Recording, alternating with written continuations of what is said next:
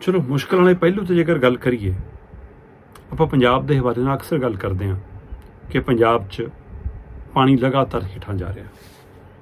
ਧਰਤੀ ਹੇਠਲਾ ਪਾਣੀ ਦਾ ਪੱਧਰ ਨੀਵਾ ਹੋ ਰਿਹਾ। ਪੰਜਾਬ ਦੇ ਜ਼ਿਆਦਾਤਰ ਬਲਾਕ ਡਾਰਕ ਜ਼ੋਨ 'ਚ ਚਲੇ ਗਏ ਨੇ, ਬਲੈਕ ਜ਼ੋਨ 'ਚ ਚਲੇ ਗਏ ਨੇ। ਹੈਨਾ? ਨਹਿਰੀ ਪਾਣੀ, ਦਰਿਆਈ ਪਾਣੀ ਸਾਡਾ ਜ਼ਹਿਰੀ ਹੋ ਗਿਆ।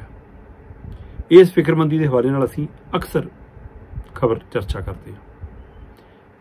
ਦੇਸ਼ ਦੇ ਹਵਾਲੇ ਨਾਲ ਵੀ ਕਈ ਵਾਰ ਰਿਪੋਰਟਾਂ ਆ ਜਾਂਦੀਆਂ ਨੇ ਕਿ ਹਾਂ, ਮੁਲਕ ਦੇ ਵਿੱਚ ਵੀ ਪਾਣੀ ਨੂੰ ਲੈ ਕੇ ਸਥਿਤੀ ਇਹ ਆ। ਪਰ ਅੱਜ ਮੈਂ ਗੱਲ ਕਰਨ ਲੱਗਿਆ ਸੰਸਾਰ ਪੱਧਰ ਤੇ।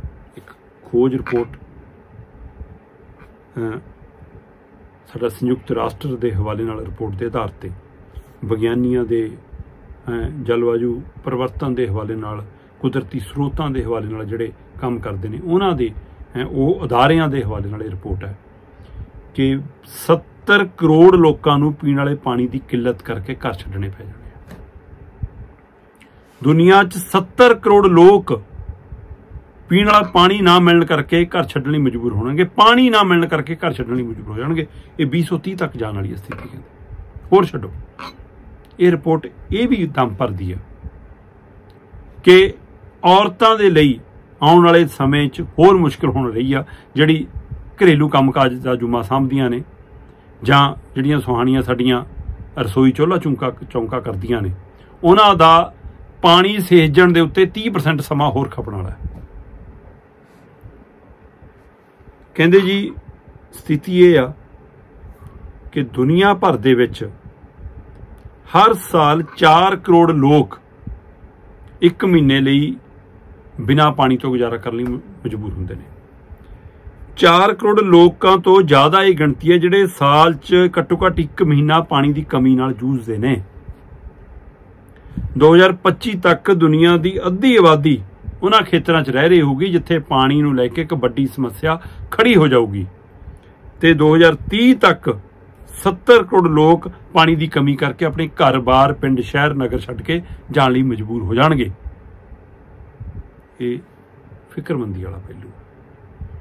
ਹਾਂ, ਇਹ ਕਹਿੰਦੇ ਕਿ ਇਹਦੇ ਪਿੱਛੇ ਸਾਰਾ ਕੁਝ ਇੱਕ ਦਿਨ 'ਚ ਨਹੀਂ ਵਾਪਰ ਰਿਹਾ। ਜਿਹੜਾ ਮਤਲਬ ਮੌਸਮ 'ਚ ਤਬਦੀਲੀ ਵਾਤਾਵਰਣ 'ਚ ਤਬਦੀਲੀ, ਕੁਦਰਤ ਨਾਲ ਖਿਲਵਾੜ, ਛੇੜਖਾਨੀਆਂ, ਉਹਦਾ ਨਤੀਜਾ ਹੈ ਕਹਿੰਦੇ ਕਿ ਜਿਵੇਂ ਕੋਈ ਤਵੇ ਪੈਰ ਆਉਂਦਾ ਨਾ, ਐਨ ਬੋਚ-ਬੋਚ ਕੇ ਜੇ ਪਤਾ ਵੀ ਨਹੀਂ ਲੱਗਣ ਦਿੰਦਾ ਮਤਲਬ, ਹੈ ਨਾ? ਉਵੇਂ ਕਹਿੰਦੇ ਐਂਟਰੀ ਹੋ ਰਹੀ ਹੈ ਸਾਡੇ ਜੀਵਨ 'ਚ। ਅਸੀਂ ਅਹਿਸਾਸ ਹੀ ਨਹੀਂ ਕਰ ਪਾ ਰਹੇ ਕਿ ਪਾਣੀ ਨੂੰ ਲੈ ਕੇ ਕਿੱਡੀ ਬੜੀ ਸਮੱਸਿਆ ਸਾਡੇ ਮੂਰੇ ਆਉਣ ਵਾਲੀ ਹੈ। ਤੇ ਜਿਹੜੇ ਮੁਲਕਾਂ 'ਚ ਇਹ ਸਮੱਸਿਆ ਨੇ, ਸਭ ਤੋਂ ਪਹਿਲਾਂ ਸਾਹਮਣਾ ਕਰਨਾ ਉਹਨਾਂ 'ਚ ਭਾਰਤ ਪਾਕਿਸਤਾਨ ਵੀ ਹੈ। ਭਾਰਤ ਪਾਕਿਸਤਾਨ ਉੱਤਰੀ ਅਫਰੀਕਾ ਵਰਗੇ ਮੁਲਕ ਵੀ ਇਹ ਤੋਂ ਵਾਂਝੇ ਨਹੀਂ ਰਹਿਣ ਵਾਲੇ। ਕਹਿੰਦੇ ਉਹਨਾਂ ਲਈ ਵੀ ਇਹ ਮੁਸ਼ਕਲ ਖੜੀ ਹੋਣ ਵਾਲੀ ਹੈ। ਚਾਰ ਮਹਾਦੀਪਾਂ ਦੇ 347 ਖੇਤਰਾਂ ਦੇ ਵਿੱਚ, ਹੈ ਨਾ, ਮਤਲਬ ਕਿ ਸਰਵੇਖਣ ਉਸ ਆਧਾਰ ਤੇ ਕੀਤਾ ਗਿਆ, ਜਿਹਦੇ ਵਿੱਚੋਂ ਗੱਲ ਨਿਕਲ ਕੇ ਆਈ ਕਿ ਹਾਂ ਭਾਈ ਖੋਜਕਰਤਾਵਾਂ ਨੇ 1990 ਤੋਂ ਲੈ ਕੇ 2019 ਦੇ ਵਿੱਚ ਚਾਰ ਮਹਾਦੀਪਾਂ ਦੇ 347 ਖੇਤਰਾਂ ਦੇ ਵਿੱਚ ਘਰੇਲੂ ਸਥਿਤੀ ਨੂੰ ਲੈ ਕੇ, ਪਾਣੀ ਦੀ ਸਥਿਤੀ ਨੂੰ ਲੈ ਕੇ, ਉੱਥੇ ਪਾਣੀ ਦੇ ਪੱਧਰ ਨੂੰ ਲੈ ਕੇ, ਇਹ ਸਾਰੇ ਅੰਕੜੇ ਜਿਤਾਏ ਇਕੱਠੇ ਕੀਤੇ, ਜਿਹਦੇ ਵਿੱਚ ਇਹ ਸਾਹਮਣੇ ਗੱਲ ਆਈ ਕਿ 2030 ਤੱਕ 70 ਕਰੋੜ ਲੋਕਾਂ ਨੂੰ ਘਰ ਛੱਡਣਾ ਪੈ ਜਾਣਾ।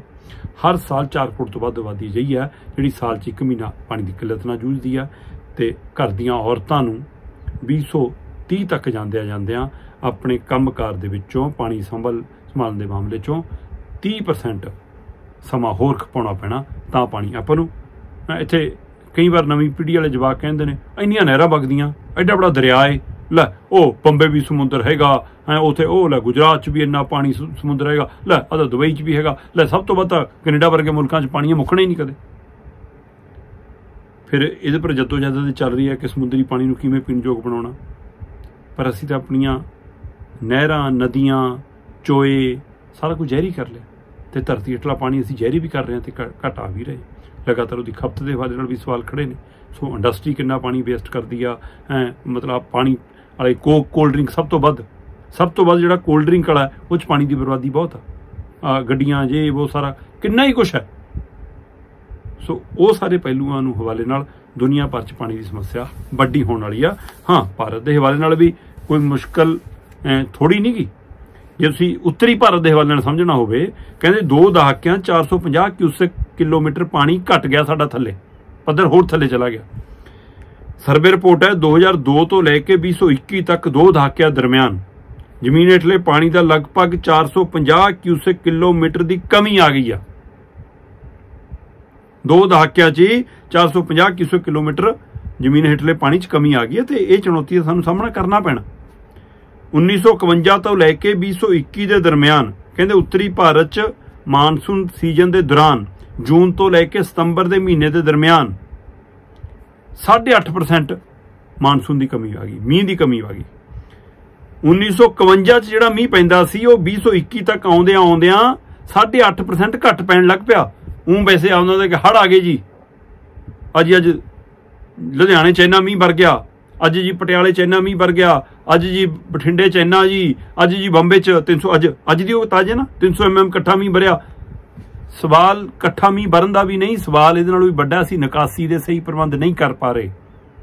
ਅਨਪਲੈਨਡ ਕਲੋਨੀਆਂ ਅਨਪਲੈਨਡ ਵਿਕਾਸ, ਹੈ, ਪਹਾੜਾਂ ਕੱਟ ਕੇ ਆ ਬਣਾਤੀਆਂ ਜੀ, ਹੈ ਨਾ, ਅਸੀਂ ਸੁਰੰਗਾ। ਨਤੀਜਾ ਅਸੀਂ ਭੋਗ ਰਹੇ ਹਾਂ ਫਿਰ।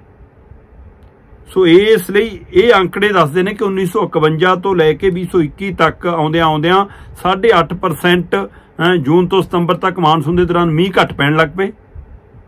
ਦੂਸਰੇ ਪਾਸੇ, ਸਰਦੀਆਂ 'ਚ ਕਹਿੰਦੇ ਇਹ ਹੁਣ 0.3% ਦੀ ਗਰਮੀ ਵੱਧ ਗਈ।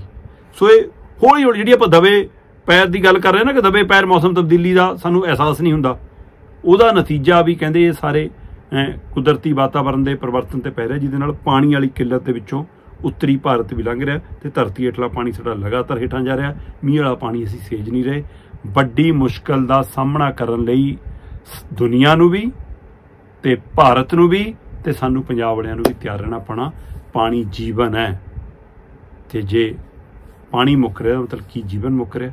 ਸੋ ਫਿਕਰਮੰਦੀ ਵਾਲਾ ਪਹਿਲੂ ਹੈ। ਇਸੇ ਲਈ ਇਸ ਪਹਿਲੂ ਤੇ ਵੀ ਅਸੀਂ ਸੱਚ ਲੈ ਕੇ ਤੁਹਾਡੇ ਸਾਹਮਣੇ ਹਾਜ਼ਰ ਹਾਂ। ਤੁਸੀਂ ਵੇਖਦੇ ਰਹੋ ਦਾ ਟੀਵੀ ਐਨਆਰਆਈ ਬਹੁਤ ਬਹੁਤ ਸ਼ੁਕਰੀਆ।